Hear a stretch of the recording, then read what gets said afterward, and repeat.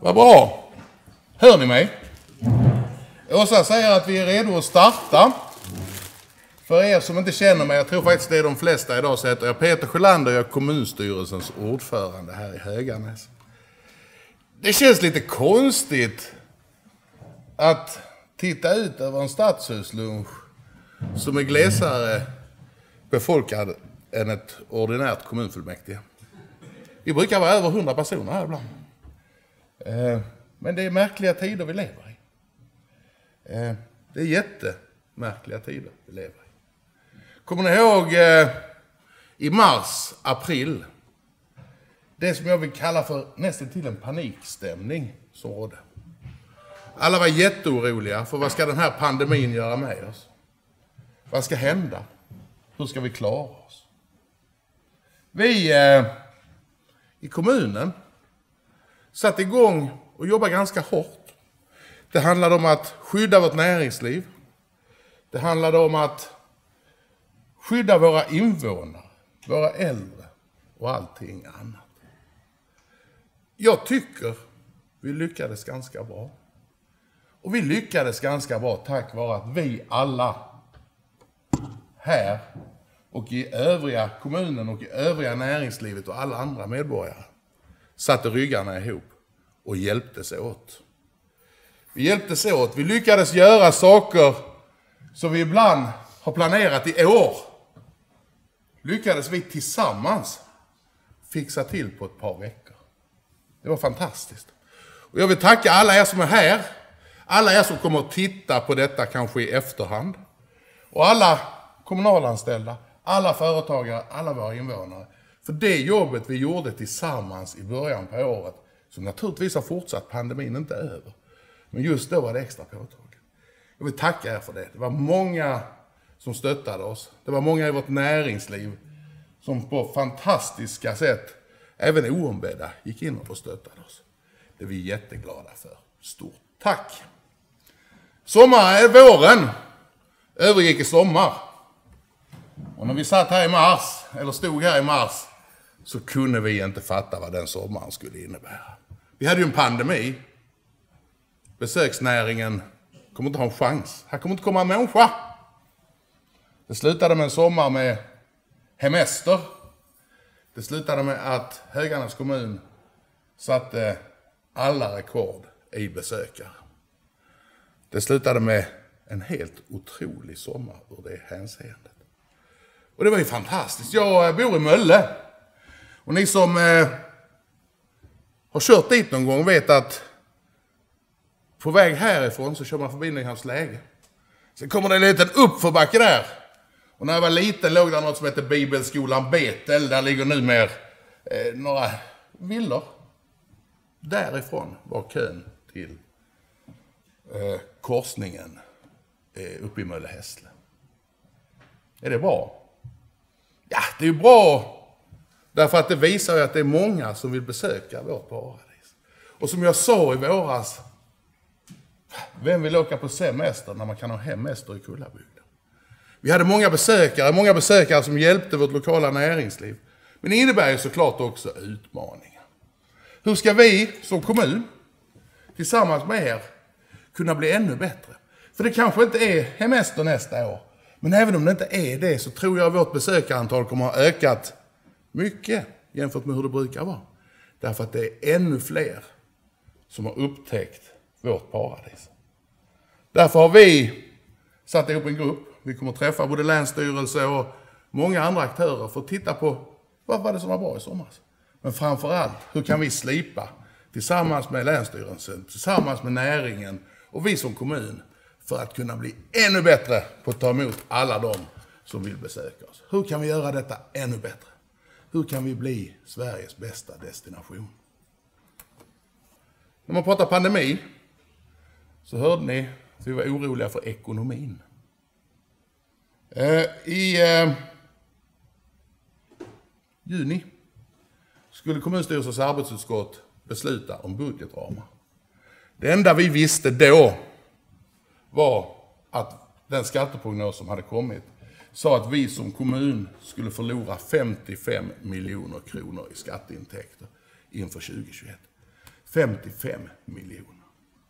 Och vi trodde naturligtvis att det skulle bli svårt. Vi kunde inte räkna med att sommaren skulle bli som den blev. Så vi var ganska oroliga. Men vi lyckades lägga ett budgetförslag som gick ut på att skydda våra kärnverksamheter i möjligaste mån. Inte att göra stora reformer, men att bibehålla och skydda det vi hade. Det gick bra. Sen tror jag att regeringen tillsammans med riksdagen har gjort 10 eller 12 tilläggsbudgetar i år. Vi har fått en massa pengar för innevarande år. Det är väldigt ovanligt att vi får det. Som ju har gjort att vi hade ett helt annat budgetläge och när vi sedan skulle ta budgeten, var det förra torsdagen, så fick vi ha en kommunstyrelse på morgonen för då såg vi att det fanns väldigt mycket större utrymmen för 2021. Delvis också för 2022. Men för 2023 vet vi inte vad som händer. Men det slutar med en jättestark budget där vi kommer att redovisa ett hyfsat resultat. Och i princip alla nämnder och förvaltningar har fått det de har bett om. Och när man då pratar budget så kommer man osökt in på det som heter bokslut. Vi har ju ett år i år. Igår fick vi eh, på kommunstyrelsens arbetsutskott presenterat för oss prognosen för hur det kommer att se ut under 2020. Och eh, det blir en svår pedagogisk uppgift. För vi har ju gått ut och berättat att det blir svårt, det är hårt, det är kämpigt. Och så kommer vi sannolikt att presentera ett rekordresultat. Och det beror naturligtvis, kan jag säga, på två saker. Skattechocken, alltså sänkningen av skatteunderlaget, blev inte så stor som vi hade kanske väntat oss. Eh, vi har fått många stödpaket för att hjälpa oss i coronatider. Eh, och man har ju tagit bort de två veckornas sjuklöneansvar. Det innebär ju att, och det har man gjort för att folk ska kunna stanna hemma för att minska smittspridning. Men vi har ju en sjukskrivning i vanliga fall också. Och även för de människorna har man ju tagit bort sjuklöneansvaret, så det gör att det blir lite lättare för oss. Eh, men då är det pengar vi bara kan använda en gång, de kommer ju inte fler gånger. Och eh, om ni kan något om kommunal ekonomi så vet vi att jag kan inte föra pengarna från det ena året till det andra. Jag behöver inte bli mer teknisk i det. Men vi har försökt hitta ett sätt där vi faktiskt kan få nytta utav det här stora överskottet. Det ska såklart, precis som vanligt, användas till våra investeringar och annat. Men vi har ett ännu större överskott än så. Därför har vi beslutat oss att det bästa sättet för oss framtida medborgare att få nytta utav det här överskottet, det är faktiskt att vi ytterligare en gång, precis som vi gjorde för tre år sedan, eh, amorterar på den pensionsskuld vi har, eller rättare sagt försäkrar bort den delen vi har. Därför kan vi göra det. Förra gången så gjorde vi av med 270 miljoner av den skulden. Denna gången tar vi 40 miljoner av det resultat vi räknar med att få för att betala, för att göra det lättare och bättre för framtida generationer. Och det är ett enormt styrkebesked att vi kan göra detta. Så det går bra för Höganäs, som jag brukar säga. Det är kul! Sen så eh, gillar vi ju rankingar. Och vi gillar inte rankingar för att vi vill placera oss högt i eh, rankingar. Utan därför att det är det vi använder för att delvis, en av sakerna vi använder för att mäta det arbete vi gör. Och det blir ibland ett kvitto på det fantastiska arbete vi gör här i kommunen tillsammans med alla er i näringslivet och företagen. Dagens Samhälle hade förra veckan, tror jag det var, brutit ner och gått igenom alla kommuner i Sverige och deras hållbarhetsarbete. Alltså inte bara miljöarbetet, utan hållbarhetsarbetet som in, inkluderar ekonomi, ekologi och sociala aspekter. Helheten på vilken vi jobbar.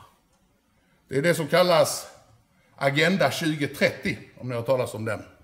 Eh, Jakob brukar ha på sig en sån där flerfärgad nål. Det har han inte idag bara för det. Vi är etta i Sverige när det gäller stadsnära kommuner, eller stadskommuner, i det arbetet. Det är jag fantastiskt stolt över. Jag är fantastiskt stolt över det. Jag tycker det är så roligt därför att vi tänker en helhet. Vi ska jobba med miljö, vi ska jobba med koldioxidutsläpp. Vi kan inte bara jobba med det. Därför att är det det enda vi tittar på och sätter mål för, så eh, blir det enklaste sättet att uppfylla de målen, det blir ju att gräva av väg 111 112. Eller åtminstone sätta käppar i hjulen för Höganäs AB. Då har vi uppfyllt alla de utsläppsmål vi ska göra. Men vad händer sen då? Kommer de utsläppen inte att uppstå någon annanstans? Och vad händer med Höganäs? Vi kommer att utsättas för en arbetslöshet som är enorm. Vi kommer att tappa pengar till vårt lokala miljöarbete och så vidare. Därför ska vi alltid titta på helheten eh, av den typ som Agenda 2030 pratar om. Eh, vi eh, har en man här idag från Svenskt Näringsliv. Det är ju en eh, ranking, ni vet, som eh, vi tycker det är trevligt att följa. Vi tittar noga på den och jobbar för att placera oss bra. Eh, och vi kommer få höra lite mer om det senare. Kan också berätta något som ni inte får berätta för någon annan. Därför att det är nästan ingen som vet det. Vi kommer, vi har inlett diskussioner med Höganäs museum, med Tjorve Center, om hur vi ska kunna göra Höganäs ännu starkare vad gäller besöksnäringen. Vi kommer att komma tillbaka angående det också. Det kan bli riktigt kul både ur stadsutvecklings och ett besöksnäringsutvecklingsperspektiv. Eh, jag eh, blev långrandig trots att jag hade lovat att inte bli det. Eh, är det något jag har glömt, tycker ni? Jag har en bild till. Ja! Vilken liten detalj. Ni vet att vi håller på att titta på möjligheten att bygga ett hotell i hamn. Vi har gjort det innan, vi är på det nu igen. I dagarna har kommunstyrelsen godkänt ett prospekt. Vi ska gå ut och känna på marknaden helt enkelt. Vi har eh, satt ihop ett prospekt som presenterar vår hamn, vår kommun, för att se ifall vi har några som är intresserade av att vara med på den resan. Det hade betytt jättemycket för staden, det hade betytt jättemycket för besöksnäringen. Ja, det hade faktiskt betytt jättemycket för hela Kullabygden. Och jag är inte fel underrättad är det faktiskt redan folk som har hört av sig och varit intresserade. Så får vi se var det hamnar. För det är en liten resa. Länsstyrelsen är inblandad, vi pratar eh, havsvattenhöjningar, vi pratar eventuella föroreningar i marken och vi pratar eh, strandskydd. Allt möjligt hemskt som kan hända. Så det är en resa vi har att göra. Men nu ska vi se om vi kan hitta någon som tillsammans med oss vill göra den resan. Och det är jag rätt övertygad om att vi kan. Fantastiskt kul, det går bra för Höganäs och det gör det tack vare att vi alla tillsammans jobbar ihop, sätter ryggarna ihop och eh, kämpar på. Ni ska ha stort tack och tack för att ni har kommit idag. Tack så mycket Peter. Jaha, Ja, det känns lite roligt att stå här framför så få människor.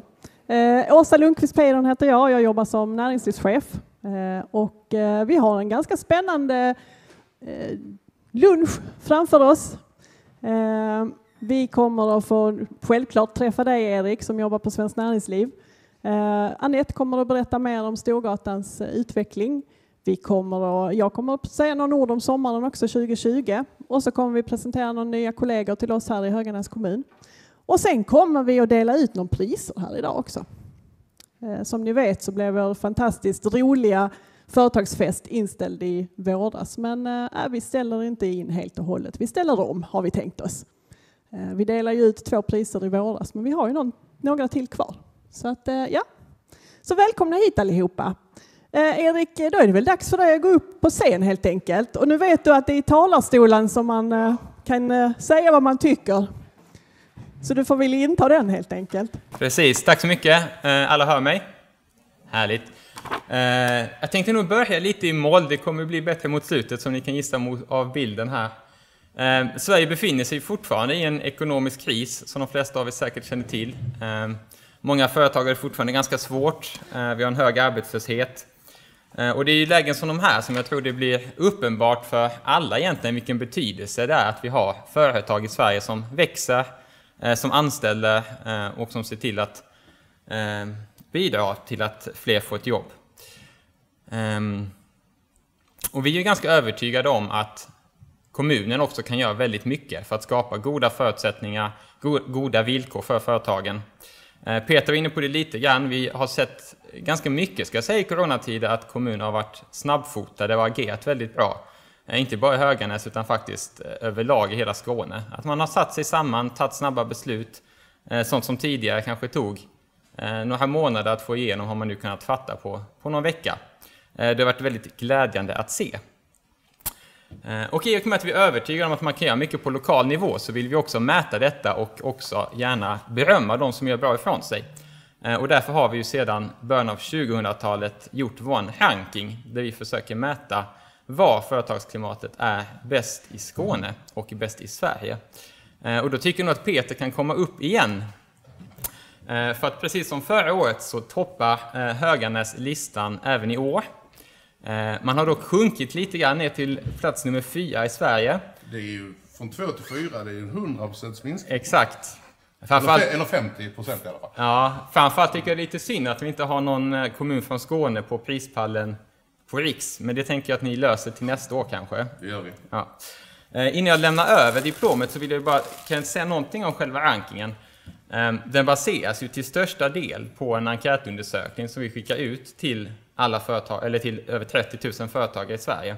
Eh, så även om det är jag som delar ut det här diplomet nu, så de som har bestämt vem det är som är på första plats och vem som, vem som får första pris, det är ju företagarna i Höganäs kommun som har gett ett väldigt högt betyg till ert jobb eh, och till det arbete som ni gör eh, i år, precis som förra året.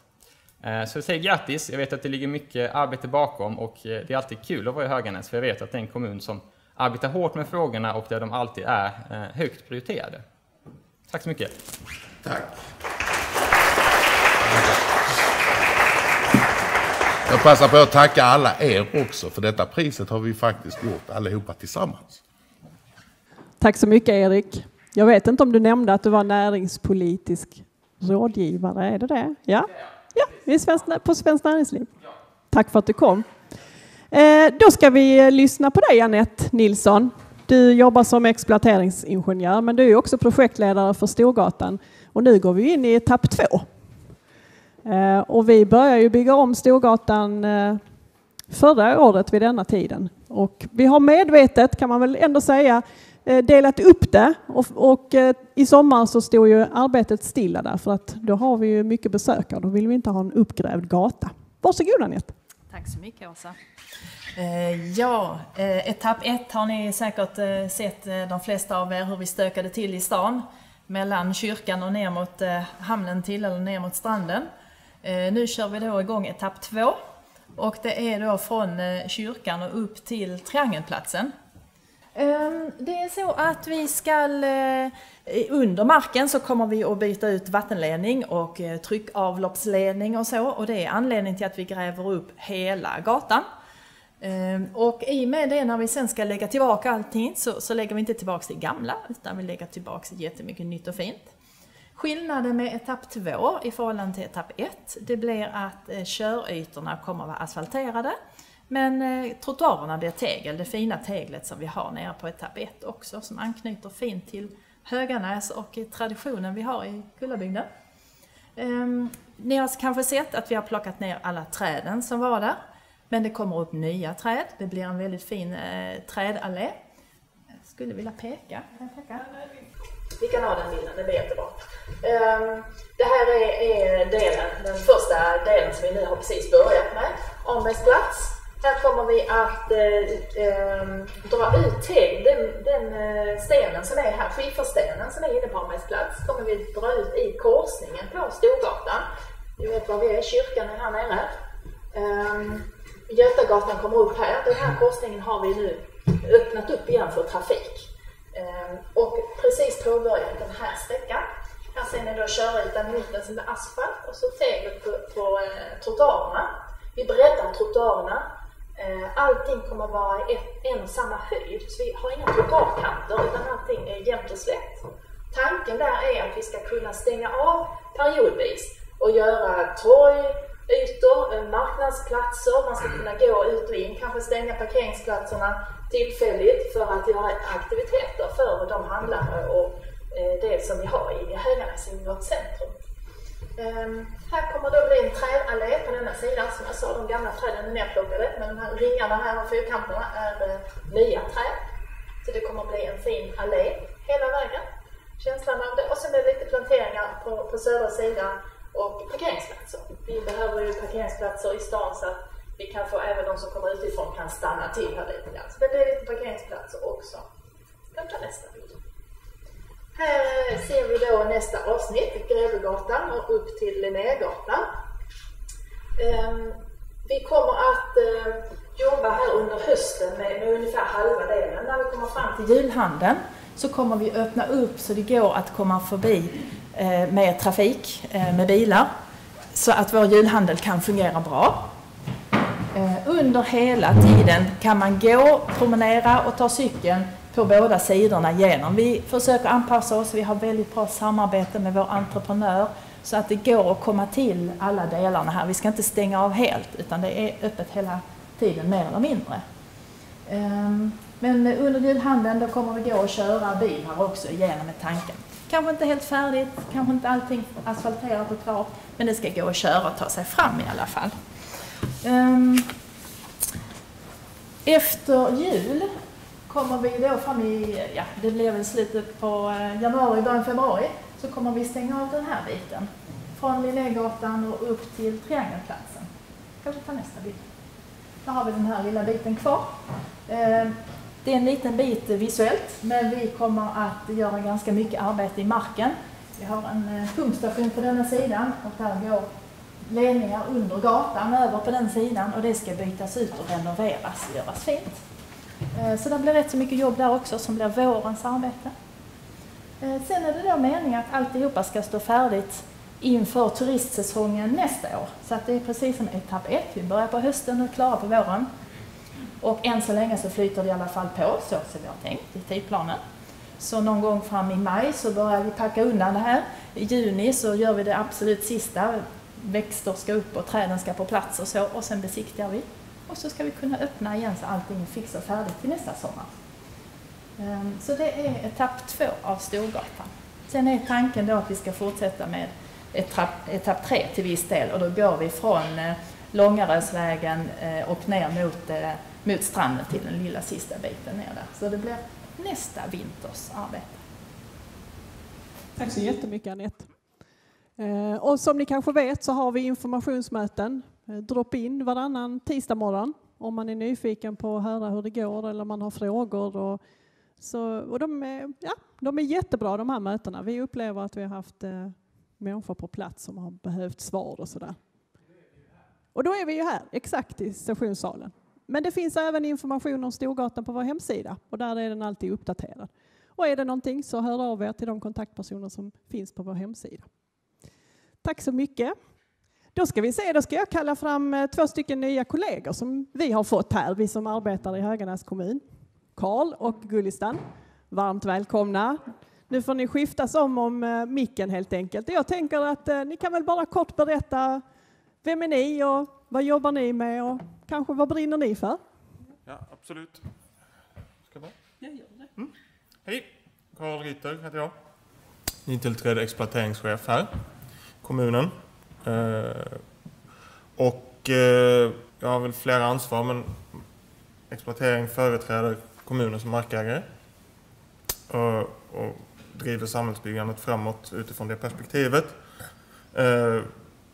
Arbetar för att ta fram en bra riktning på framtida byggnad, byggnadsområden, utbyggnadsområden, både bostäder och verksamheter. Och såklart så är det ledning och styrning av de projekten som är igång Eh, liksom kontakt med allmänhet och företag i deras frågeställningar. Eh, så, och jag har tidigare arbetat i Malmö på exploatering och i Lund på exploatering lantmäteri. Jag har varit på LTH lite undervisat och eh, lite så. Stort. Du bor inte i Höganäs än? Jag bor inte i Höganäs än, det gör jag inte. Jag bor i Eslöv. Eh, men eh, det finns ju en framtid. Saknar havet sa du till mig häromdagen. Varje att, eh, sommar saknar vi havet. Välkommen till Höganäs. Tack. Ja. Eh, ja, jag heter Gullistan Battak. Jag är relativt ny också. Jag började i maj. Jobbar som plan och bygglovschef. Och jag har ansvar för eh, strategiskt planeringsarbete, detaljplanering, som är det här juridiska dokumentet om ni inte känner till det, och bygglov och tillsyn. Eh, jag bor i Landskrona. Jag bor inte heller i Höganäs. Eh, men eh, ja, har tidigare jobbat i Bjuvs kommun som plan och bygglovschef och jobbat också i lite andra kommuner. Men även erfarenhet från Länsstyrelsen i Skåne. Jag tycker det är jätteroligt att vara här. Bland annat naturen och kulturen som lockade mig här till Höganäs och också det här arbetsklimatet. Eh, Jag har inte visitkort med mig idag men eh, ta gärna kontakt med mig eller några av medarbetarna. Ibland kan det vara både jag och Carl som eh, ni träffar. Alltså om ni har utbyggnadsidéer, utbyggnadsplaner eller vad det nu kan vara.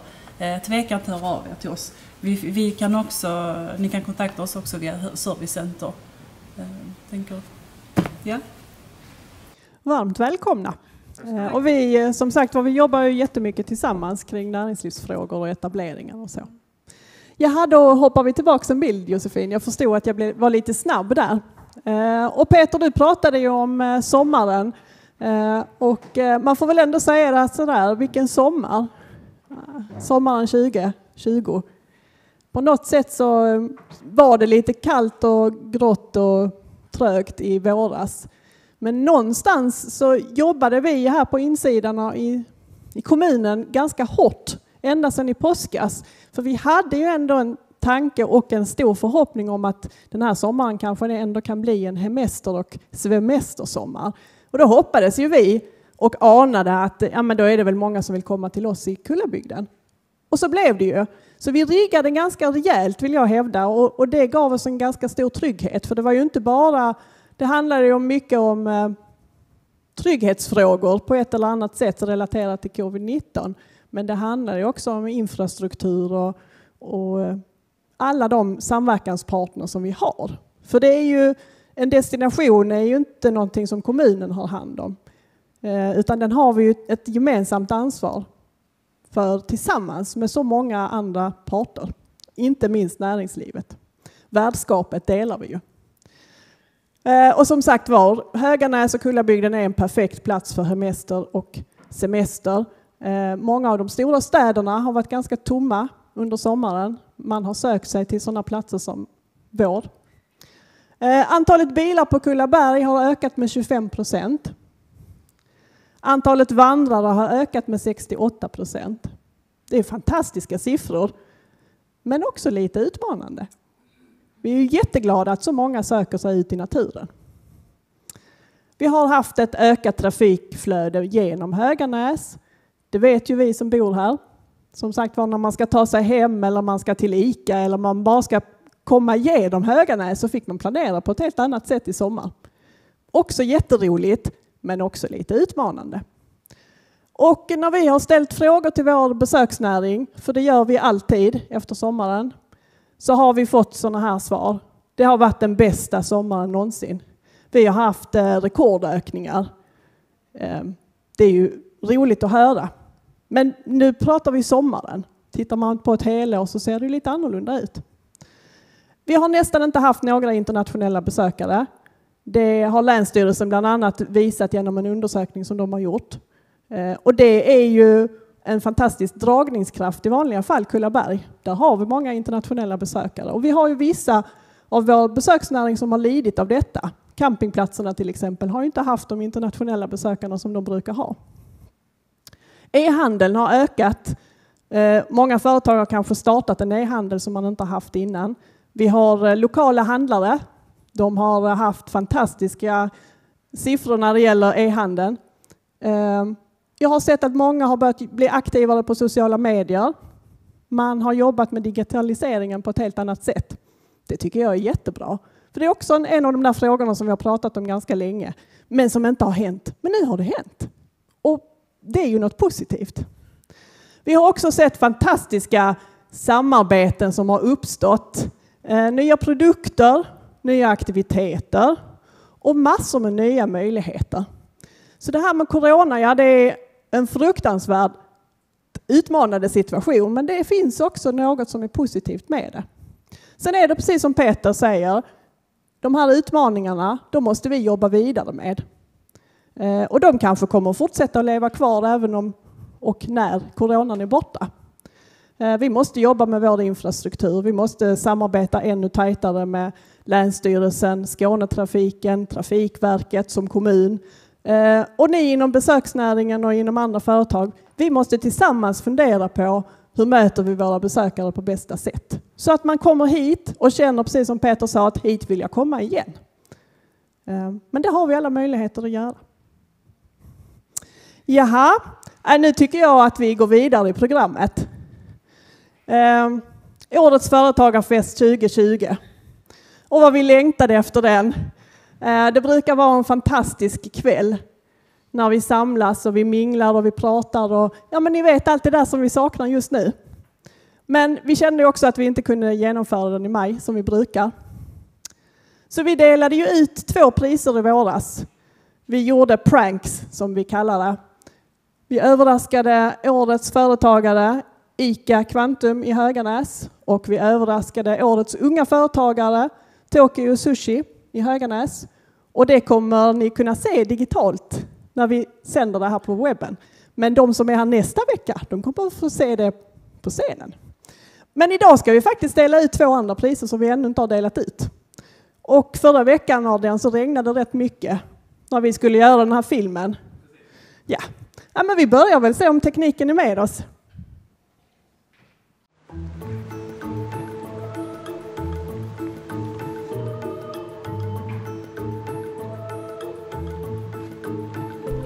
Hallå ja! Hur är läget? Är det bra? Tror du skrämma er? Nej, det tror jag inte. Det tror jag väl inte. Jaha? Ja, man vet inte. Vi går in. Ja. Ska vi inte... en ehm, jag tänkte... Måste bara... Oj? Ja, det är det nog. Undrar du varför jag är här i guldslips? ja men domaren. Usch vad jobbigt. Ja, Vi kommer in. det regnar.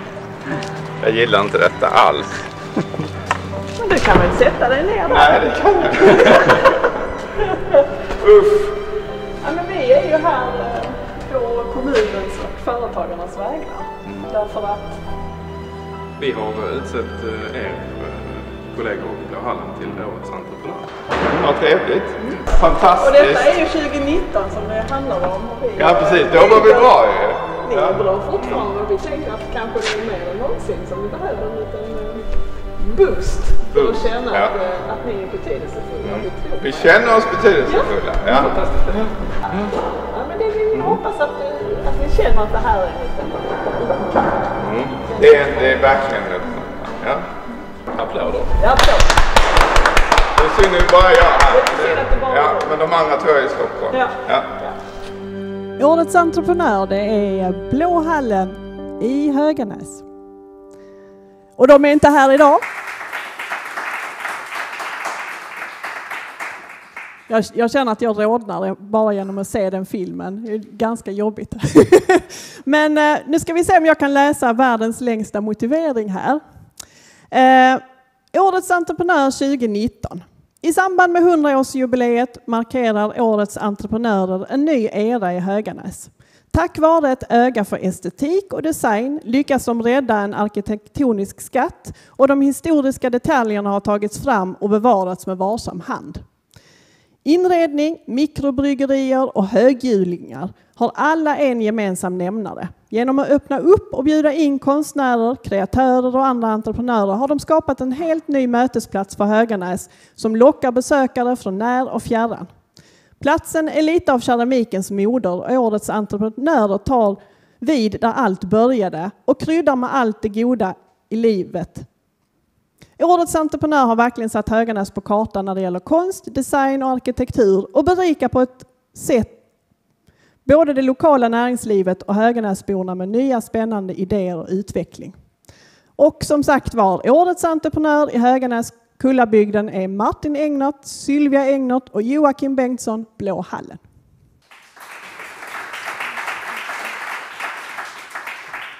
Jaha Adrian, nu får du komma upp på scen.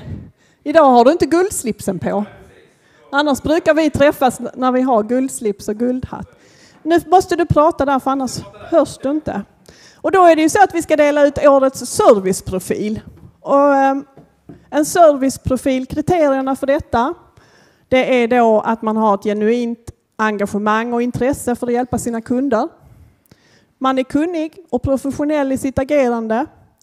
Eh, och årets serviceprofil ger en upplevelse utöver det vanliga och får därmed ständigt återkommande kunder. Och nu Adrian, tar Ja, du över. Precis, så nära måste man stå. Det fungerar så här. Eh, jo, det är ju så att eh, jag fick ju äran att skriva det här motiveringen och den är ju lite hemlig eftersom eh, årets serviceprofil inte vet om det ännu. Och vi gjorde ju likadant eh, till årets företag förra året. Och, eh, då börjar jag läsa. Det kommer lite ledtrådar och det är eh, lite alla eh, På spåret med ledtrådar. Det ska bli spännande att höra den här Ja, motiveringen. Den blev klar nu ungefär en minut i tolv Jag som du vet. vet. Ja. Så jag har inte kvalitetssäkrat den. nej. Men, men den, den är okej. Du får klippa bort den annars i webbsändningen. När detta företag jobbar så går det inte på räls utan på vals. Och vill du ha något mindre så går det att krympa det mesta med en fals. Ska du ha budskap på A0 eller en mindre etikett? Inga problem, de ordnar också vepa och pamflett. PMS på detta stället påverkar inte någons humör, utan här handlar det faktiskt om en bestämd kulör. Årets serviceprofil är ett gäng med oberoende fabrikörer. Priset i år går till tre musketörer. Har du med visitkorten kommit i akut klammeri? Ingen fara, det går alltid snabbt i detta tryckeri. Årets serviceprofil 2019 är Indie Prints. Välkommen fram! Som inte hade en aning om varför de skulle hit.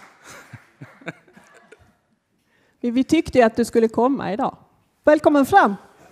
Och det är ju bröderna Magnus, Mattias och Kristoffer Bris, ska ju tilläggas. Ni är tre.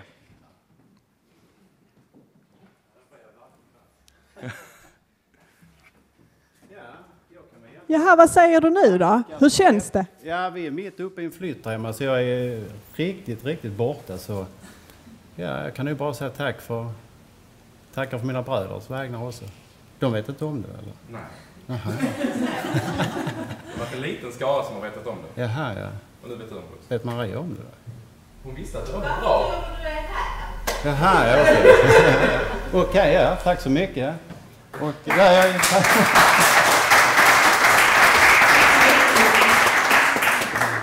Och vi hoppas ju att vi ska kunna ha en hejdundrande fest i vår.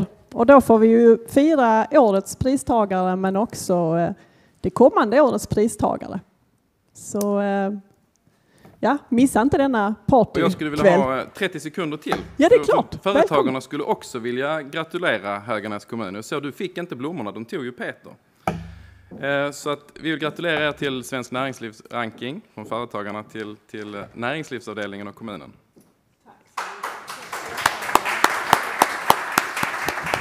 Tack så jättemycket.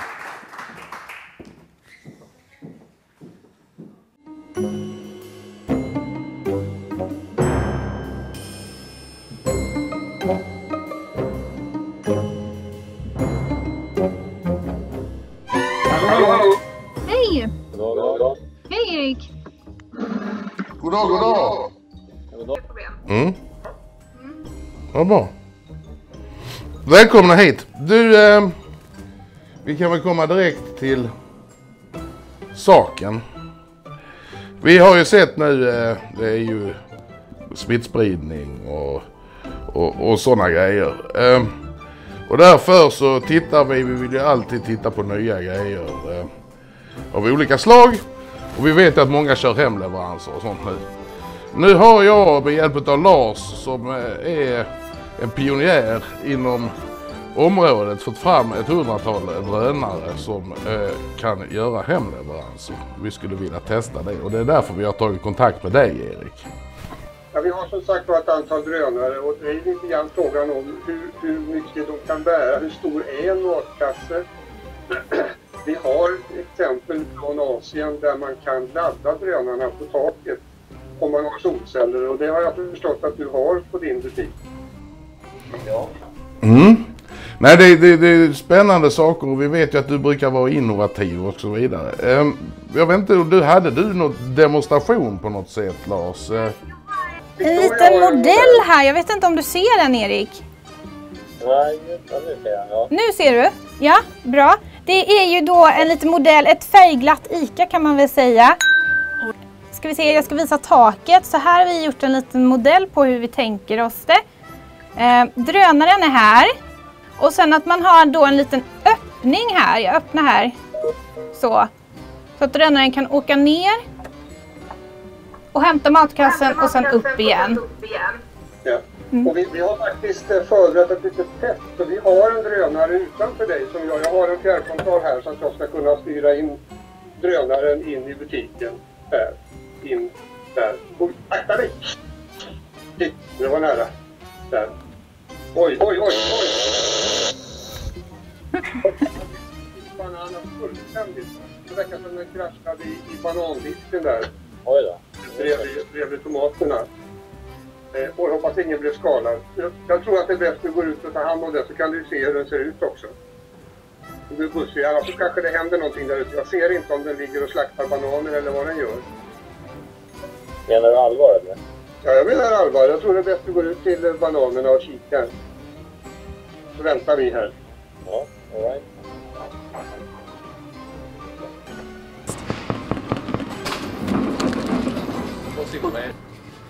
Hej Erik, du skulle ju komma ut och hämta drönaren.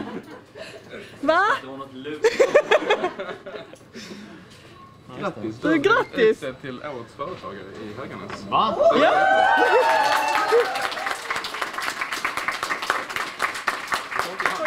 Det är årets blåsning. Vi försökte ju. Men eh, Ja, ni har inte varit med där inne på kontoret? vi har varit med på eh, länk. Vi var ju så envis. Vi försökte lura ut Erik och säga att det har, landat en drönare ute vid frukten. Ja, tack så hemskt mycket. Ja, det var en total surprise. Ja, men vad härligt. Ja, ja, tack till alla som hjälper till att driva företaget framåt. Ni är ju här de flesta idag. Det krävs någon stycken att göra detta. Ja, verkligen. Och vi skulle egentligen haft en uh, årets företagarfest här nu i maj. Exakt. Men av olika skäl som är kända så är alla stora sammankomster inställda. Och det blir i höst istället. blir det i höst. Vi hoppas att vi kan ha en eh, hejdundrande fest i september och oktober. Och hoppas jag att ni kan komma så många som möjligt. Ja, det är Ja, Ja, ja, tack så hemskt mycket. Och, sen, och så tycker jag vi ger Erik en stor ja det applåd. gör vi.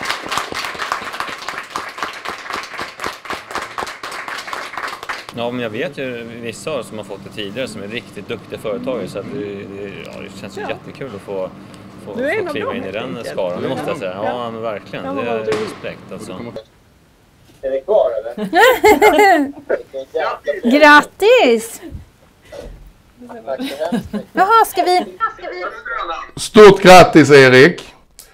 Vi uppskattar eh, att ha dig som företagare här i Höganäs kommun och du är alltid eh, med och hjälper till här i samhället och så. Det, det uppskattar kommunen väldigt mycket. Tack så mycket. Det är kul att vara med och verka här också. Jag eh, sa det till eh, Åsa att det är ju, eh, jag har ju sett några av dem som har fått den här utmärkelsen tidigare och det är riktigt skickliga företagare så det känns ju riktigt trevligt att få, få vara med i den skaran och med butikslaget här som har bidragit eh, väldigt mycket också. Vad kul! Grattis till dig och dina medarbetare. Eh, så stort grattis Erik, ha det bra! Jaha Erik, hur känns det? Ja, det känns ju lite jobbigt att se det där igen. Eh, Det var, det var, jag blev faktiskt blåst. Men eh, bortsett från det så känns det fantastiskt. Ja, det är otroligt kul.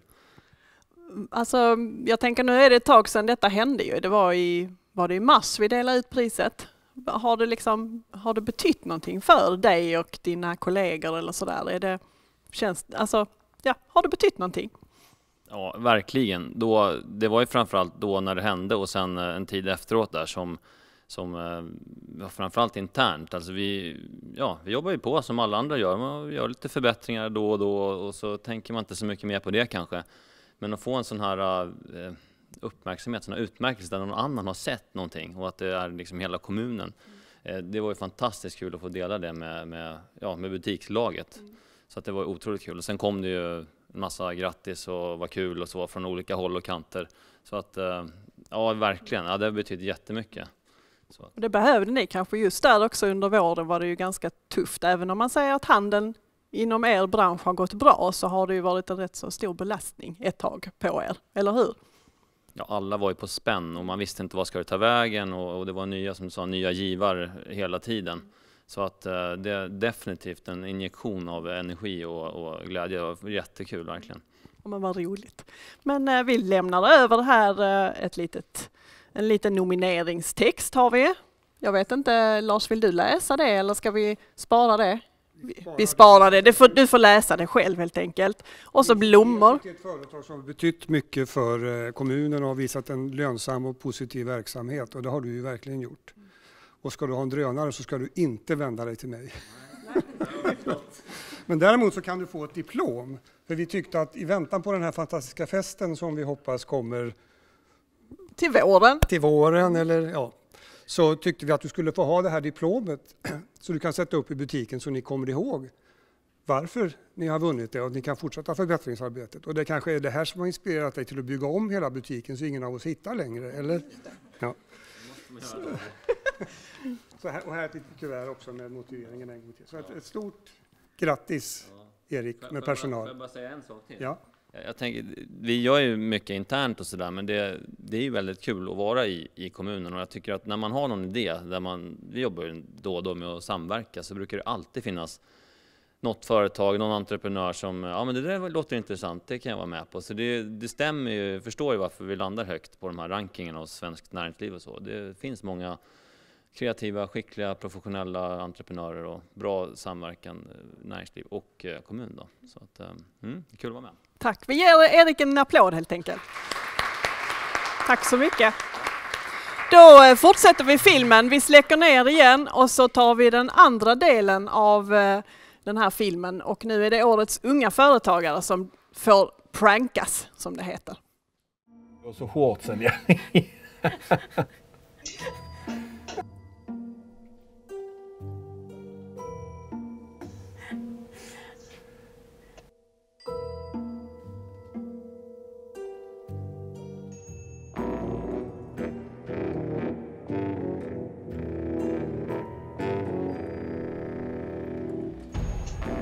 Ja, precis. Oh, där var tåbira. Har du ingen Wunderbaum?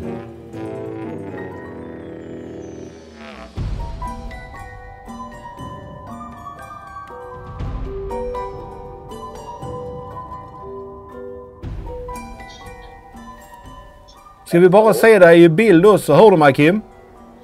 Yes, jag ska bara få igång kameran. Det verkar inte vilja komma igång. Ahej, okej. Och sen brukar det komma upp en ruta där det står sätt på min video eller något sånt. Exakt. Men det vill inte komma igång.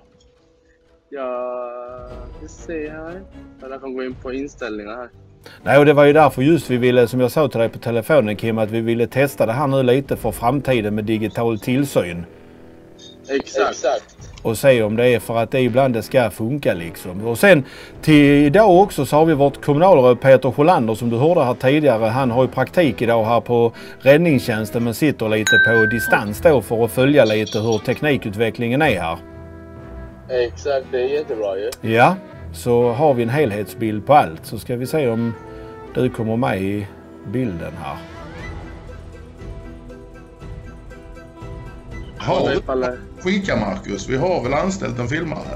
Absolut. Nej men då gör vi så att eh, om du inte kommer igång där Kim så det jag tänkte vi enkelt kunde gjort det är ju eh, att du liksom går runt i byggnaden då och tittar lite eh, hur det... Kaffe. Ja gör du det. Och så dra upp strumporna ordentligt där. Så du inte går och trillar. Eh, det är förebyggande det också.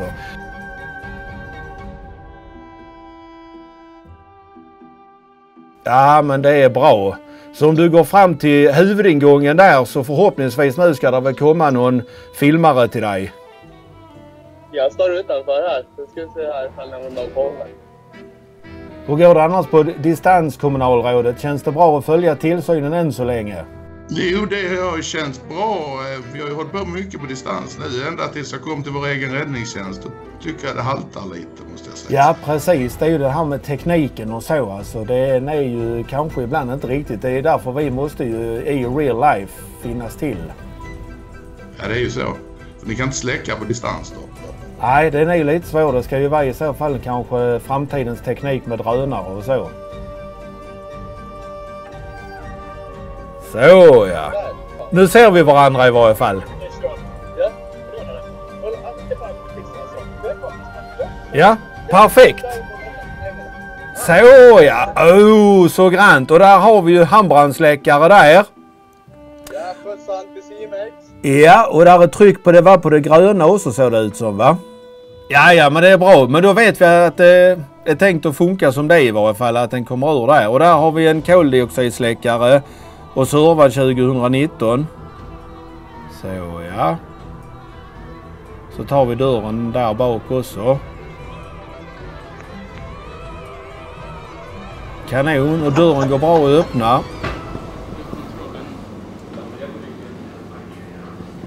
Gör du något viktigt just nu? Ja, jag sitter ju i brandskyddsmöte online. Ja. Va? Vad innebär det? Precis. Oj, vad händer nu? Var det... Fick du besök? Vi fick lite besök här. Det var ganska oväntat. Jaha, hej hej, vad trevligt att se er. Men då kanske vi får göra en liten... Hur går, hur går tillsynen?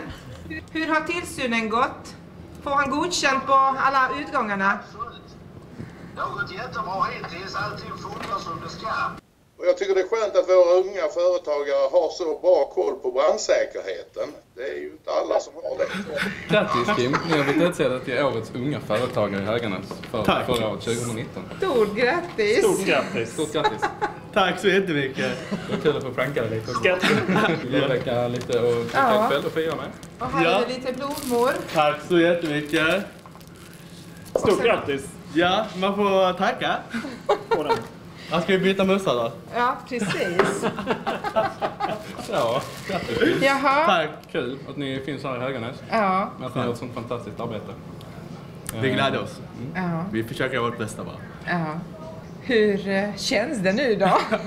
Ja, jag, vet, jag vet inte vad jag ska säga. Det är en stor ära. Blev du lite förvånad här? Eh, No shit.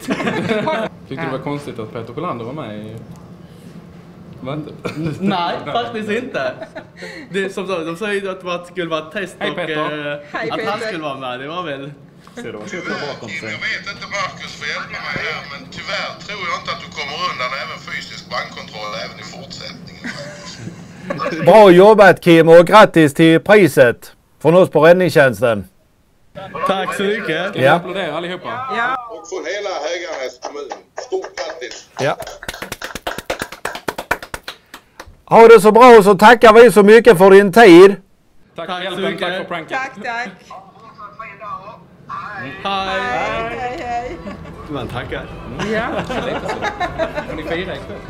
Det ska vi göra. Helt enkelt. Ja. ja. Eh, Det är roligt tycker jag för att både det här med drönaren och den digitala tillsynen, jag tycker plötsligt inte att det känns sådär jätte annorlunda. Det kanske kommer ganska snart. Ja. Du, eh, hur kändes det när du, när du liksom mitt i tillsynen, den digitala, du jobbar ju rätt så hårt med det där för att leva upp till Marcus alla Ja, och så plötsligt så kommer det in ett gäng med lite ballonger och blommor. Och... Hur kändes det?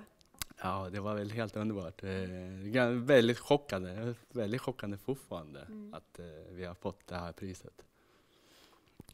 Och vad har det betytt för dig och, och eh, er som jobbar på Tokyo? Ja, Det har betytt väldigt mycket. Det har eh, Ja. Härligt att, att, ehm, att ni blev så himla glada för det. Mm. Men ehm, Lars, du får väl lämna över. eh, Och det är extra roligt. Vi har ju delat ut priset som årets företagare i flera år tillsammans, men det här är första året som vi delar ut priset till årets unga företagare. Och det är liknande kriterier, men inte lika många krav på att man har en lång lönsamhet bakom sig. Men man får inte vara för gammal naturligtvis, utan man ska vara max 35. Och det är jättekul att Kim har fått det här priset. Och går man hos Erik och tittar i delikatessen så hittar man ju Kims produkter där. Så ni har ju ett samröre med varandra, ett samarbete också. Så att, eh, jättekul att få överlämna det här diplomet till dig. Och motiveringen. Och lycka till. Tack så mycket. Och här kommer en blomma till. Och en liten, en liten ram som ni också kan läsa eh, varför ni fick priset. Tack så jättemycket. Vi ger eh, Kim en applåd. Tack så jättemycket. Um, kanske är det så att det var viktigare än någonsin i år 2020 att få dela ut de här företagarprisen kände vi.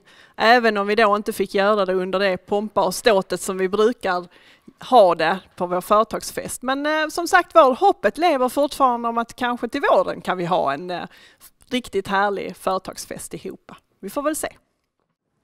Ja, då är det snart eh, dags att skiljas åt eh, det här eh, speciella tillfället. Eh, men jag vill bara påminna om att vi siktar på att ha nästa stadshuslunch den 11 december. Det är möjligt vi får ha flera som vi kör eh, denna månaden. Men det är ju fler desto trevligare tänker jag. Eh, och om ni prenumererar på vårt nyhetsbrev och tittar på vår hemsida så kommer vi att berätta när det är dags. Tar vi nästa bild. Eh, och jag vill också påminna om att på vår hemsida så finns det ganska mycket matnyttig information. Vi skickar också ut nyhetsbrev. Under våren ett tag så skickar vi ut varje vecka och vi fick väldigt mycket positiv respons på det. Det handlade om många näringslivsfrämjande åtgärder och nyheter och så som vi tyckte att företagen behövde ha koll på. Eh, så prenumererar ni inte så gör det gärna. Ehm, och eh, ja, då hade det varit mysigt att sitta och mingla och snacka och så, men vi vill ju uppmana er till att gå ut, ta en eh, lunch to go-bag och tycker ni det är trevligt väder så kanske ni kan sitta utanför i alla fall och äta. Annars så får ni ha en trevlig lunch. Tack för att ni kom allihopa.